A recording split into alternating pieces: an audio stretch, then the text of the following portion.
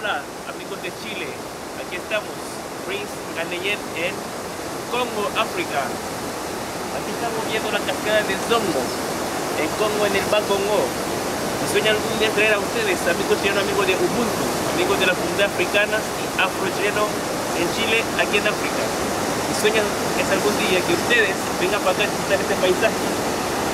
El bosque del Congo, aquí en el Bakongo, aquí en Congo para que vean que es maravilloso.